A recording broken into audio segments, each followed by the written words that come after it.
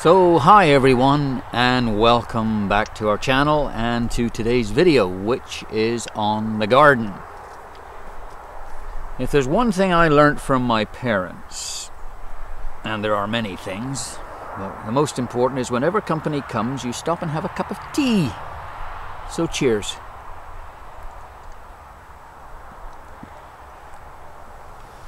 Living here as we do in central Alberta our growing season is very short, about six months of the year at best, May through to November. By 1st of November, the snow is usually flying and you're done. So it's important to make the best of what we have here. There is no finer place to live in the summer than Alberta. It is gorgeous, a beautiful, beautiful climate. Winter is hell. Even a goose with a brain the size of a postage stamp knows to get the heck out of Dodge and leave. Through the summer, we try to make the best of what we have, and for us, the garden is perhaps the heart of what we do here. Sylv and I are well through our 50s, gonna hit 60 next year. Few grey whiskers coming each year, getting a little thicker. We decided to go with raised bed gardens simply to make life a little easier, a little more comfortable, a little easier to work. And for us, we do not grow potatoes or anything of that nature. We live a very green diet. We've cut out a lot of things in life that we believed were doing us harm. So our garden grows mostly carrots, peas, beans, beets, um, onions, zucchini, broccoli, lettuce, and very seasonal, seasonal stuff. Now, when we came to the 12 here, we realized that we were not the first ones to tend this land. There's been a homestead here for about 70 years. And even though the place was abandoned in the late 1970s, we realized that things that are done here, the windbreaks that are planted, the trees that have been planted, were all done for a reason. And there's a tremendous temptation when you move into a new place is to sweep clean.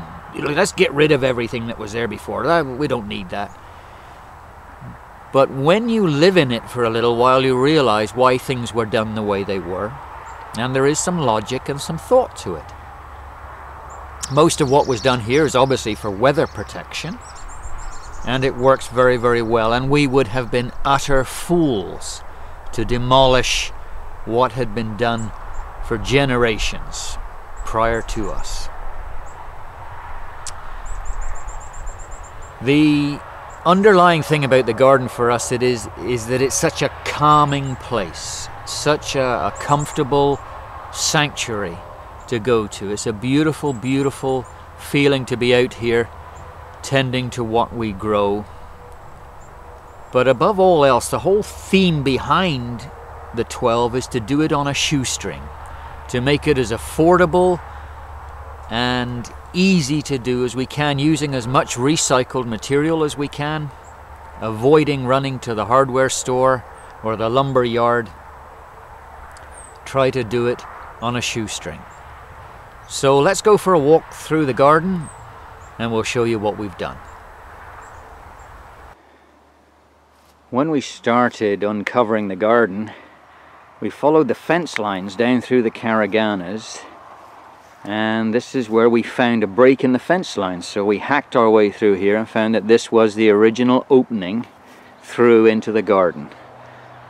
Over the years it's grown up into a beautiful arch and that now is the entrance to our garden. One of the secrets of living as cheaply as you can is trying to make use of something that others have thrown away or do not consider to have any value. Now this is what we call the greenhouse because it's green and it was at a, an industrial sale. I think it was 200 bucks I paid for it and then we had to move it. It went onto our car trailer without any issue. We got her home and it served us very, very well as a tool shed. Keep the lawnmower, rotavator, anything we need under cover. Being a very old farmstead, this used to be the garden uh, in decades gone by and people did plant trees out here for shade.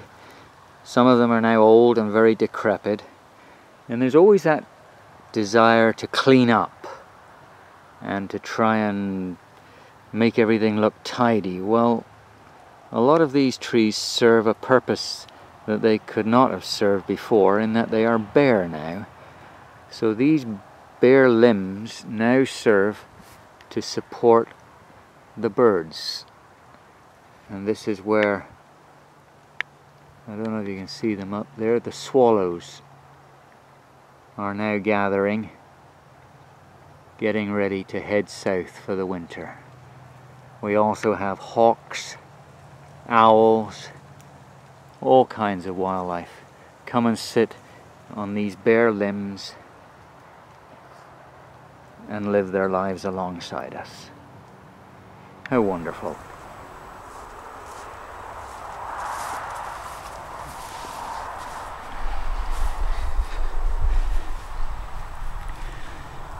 When we started into this idea of raised beds, we wanted to build them as cheaply as we could, to be affordable and using recycled materials. What we got was some uh, rough sawn 2x6s, you could use 2x10s, whatever you can find. Old scaffold planks, anything you can find as long as it is not toxic. You do not want to use anything that's treated with pressure treated um, preservative or anything that is painted with what could be a lead based paint, although many years have passed since they were ever used.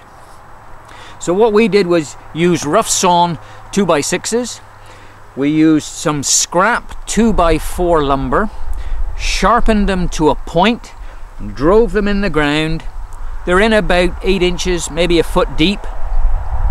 Then drop our boards in behind and nail them back to the 2x4s. They're supported. Then we line the inside with some basically vapor barrier, plastic vapor barrier sheeting. And the idea, the idea with that was to try to line the inside and stop the grass from working its way up through the bed and taking over. Quackgrass and thistles will grow through this stuff, and that has been an ongoing problem. The only upside is that with a raised bed, it's much easier to weed your garden. In fact, it's quite a joy. It's quite pleasant to come out here and scratch and pick out the weeds as they come up through. In the spring, you can start these beds a little earlier by putting a plastic tunnel over the top. And what we've seen people do is to use stuff like PVC electrical conduit that is quite flexible. You dig, push one end in the ground on one side, bend it over to make a hoop, push the other end in on the other side, and then cover it with clear PVC sheeting, tack it down to your sideboards, and you're in business. You got a greenhouse. Where we are in this location, we're surrounded by water. Basically, we have water on three sides. So we just pump water up from the ponds and then run it down through sprinkler hoses or soaker hoses if you need it in the spring. You can easily do it with a watering can, which for the most part is what we do. We'll have a tank set up here, 200 gallons of water pumped up from the pond and just put the water on with a can as we need it. Very cheap, these have been up for three years now. We've had no problems. They work very well and we will build more of them.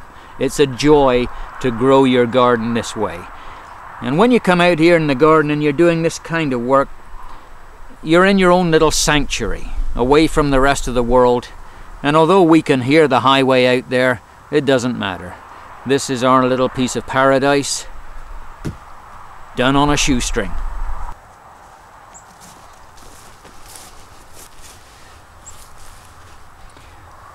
When we first uh, built these beds, we uh, put in what we thought was some pretty good soil. In this particular area, it's a very nice black loam, very mellow, a nice soil. Uh, the first bed we built definitely has a better soil. This soil came from a little deeper. It was dug a little deeper so it's not quite as good. So each year after the crop is off, we will dig in peat moss and coarse sand, depending on how the soil has behaved through the summer. Uh, usually we're looking for something that's going to drain fairly well, something that will not cap over in heavy rain, and something that obviously yields well. The peat moss adds to the organic matter, keeps it mellow, and the sand aids to the drainage. So digging in those uh, additions each year leaves the soil mellow and ready to start each spring.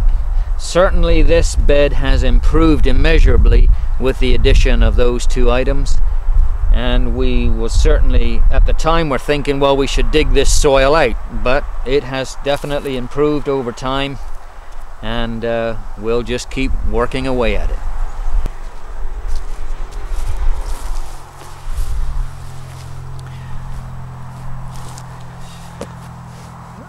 a little while ago we uh, came across an advertisement on Kijiji for uh, another cook stove. And uh, it turned out that it was an estate that was being cleaned up and dealt with by the family. And uh, in addition to purchasing the cook stove we were able to get some trees. And so to her credit Sylv has been nursing these young fir trees we've got spruce and blue spruce a few different varieties Probably about 50 seedlings in all is what we dug up. Some have survived, some have done very well, and others not so well. But it just goes to show that when you answer a simple ad on Kijiji for a cook stove, you never know where it can take you or the things it can yield.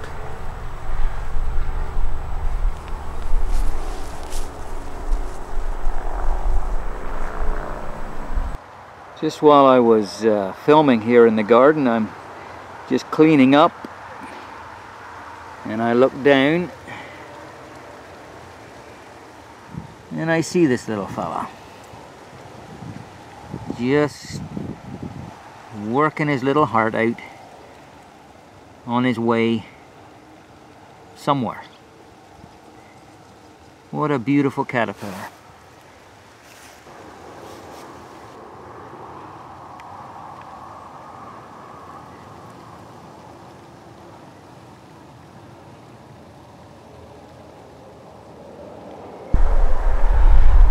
Throughout the uh, winter months here in Alberta, we feed the birds. We feed them a tremendous amount, and we have such a wonderful variety of birds that come and visit us. Quite a bit of what we feed is sunflower seeds. And in return, the birds will scatter those sunflower seeds around. And this year we found Quite a few little gifts for us left here in the garden by the birds. Sunflower seeds that they dropped as if to say thank you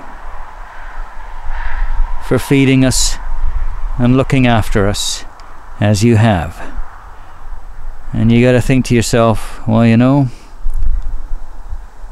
what a wonderful gift from our little feathered friends just to say thanks very much. Sylvan tree seedlings. Kind of little impromptu nursery that she started here. Some have done well, some not so good. But Sylv swears they all respond to talking. So she likes to talk to her trees. And there's nothing wrong with that.